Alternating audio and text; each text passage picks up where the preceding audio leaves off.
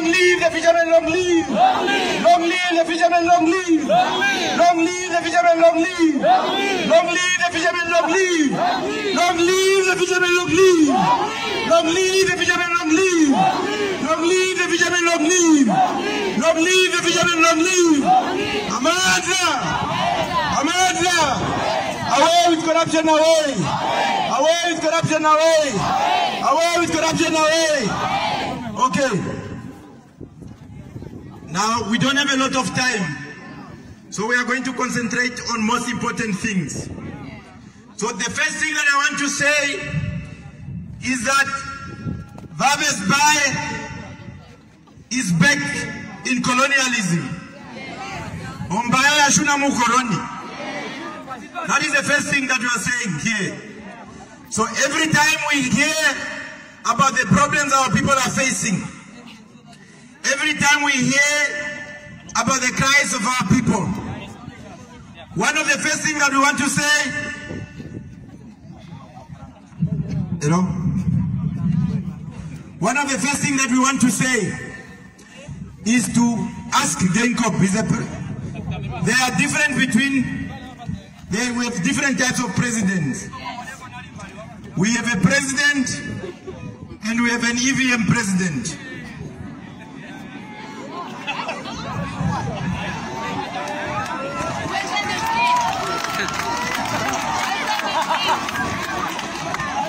So we have a president, we have President Itula, the president of Namibia, then we have Hage Geingob, the EVM president of Namibia.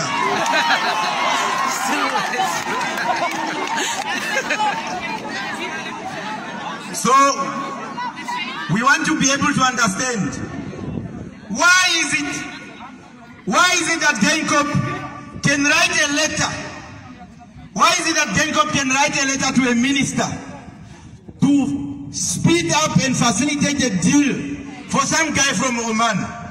But Geingob cannot write to Esau and say, find a way to sort out the problem of a fisherman. Why is it that you have a responsibility towards foreigners, but you don't have a responsibility towards your own people? Hmm. Why? Why do we live in a country like that? Why is it that Geingob can be concerned about phosphate and you are not concerned about men and women for four years who are simply just asking? Some of them are saying, some of them have actually accepted that their jobs are not coming back. Some of them are simply just saying, can you give us the money that we've worked for? Why is it that Geingob cannot be concerned about things like that? That speaks to what is wrong in our country.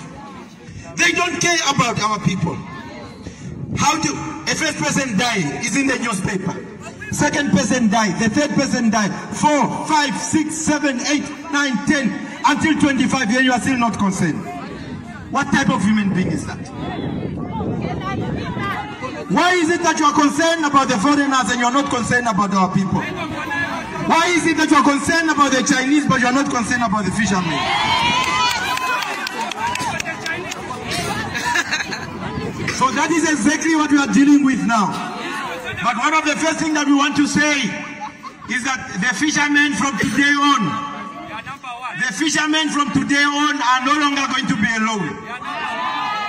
The fishermen from today on are no longer going to fight their struggle alone. We are going to be there with them. The same way we have been with Tololoka. We are going to fight when we go back to Windhoek today. We are going to fight and ask for lawyers for the fishermen. Everybody now understands. Can you imagine? Esau goes out of the country and asks for a cell phone and four prostitutes. How do you sell a country? How do you sell a country? Otora nditapongini, oshirongo eliani.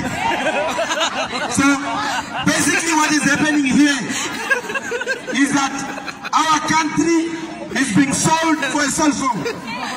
Our country is being sold for prostitutes. So basically means between prostitutes and people who are dying here, they choose the prostitutes. Between a cell phone and people who are dying here, they choose a cell phone. Let's make it very clear here.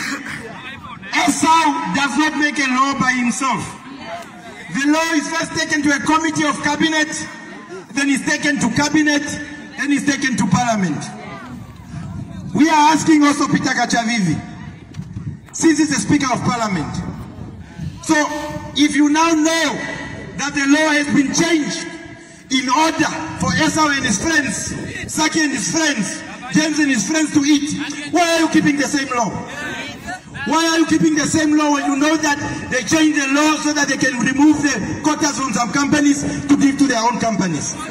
So it's about time where we hold everybody responsible.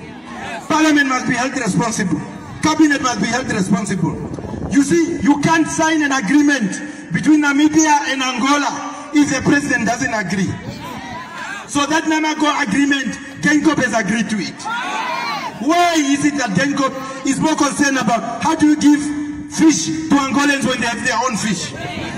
So we are going to make sure that the fishermen get lawyers.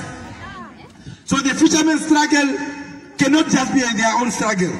So we need to make sure that it is also a struggle. We need to make sure that all of them get back to work, one way or the other. Either we are going to make sure that they give them a quota, or either we are going to make sure that they are all employed by Fishcor, whatever the company it is. So it is no longer business as usual. So this message must be very clear to the EVM president and everybody else that you are having here. So our message is that it is either, it is either, and it's very important that you hear this, because from 2020, from 2020 we are moving in a decisive phase. In 2020 we are moving in a decisive phase. What we are saying is this, from the 1st of January 2020 going forward, in this country, it is either we eat or we are going to put sand in your food. Exactly. It's true, it's true, it's true. It's true. from the 1st of January 2020 nge ngeita tuli atukeni. Oshimbo tashiboloka iki eita. nge atucita tuli mikujamano atutulamo mavi oshima sha simana lelo so okuca ike okuza mpano etumulalo lyatuganja undino jaira kuca muchilongongeka mushishingo tantaru video. Ekota citadinganjwa kuco tapewa kanu mbe yako esilanda ngini ekoto daganjwa esao yelimo ka video tati okwa halongodhi nafuko eli yane. Wede omweshimana omweshimana you saw it oshilongo shalandifwapo kongodhi nafuko eliane ombwela achangini njoni? So ngodhi nafuko eliane woje omweshimona omweshimona you saw it. Oshilongo shalandifwapo kongodhi nafuko eliane ombwela achangini njoni? Chocho neta tuti. Ngenanyo chilongo tachilandifwapo kongodhi nafuko kapuna ali moshilongo ngita tuli atutulamo mavi okuza mucho tango ja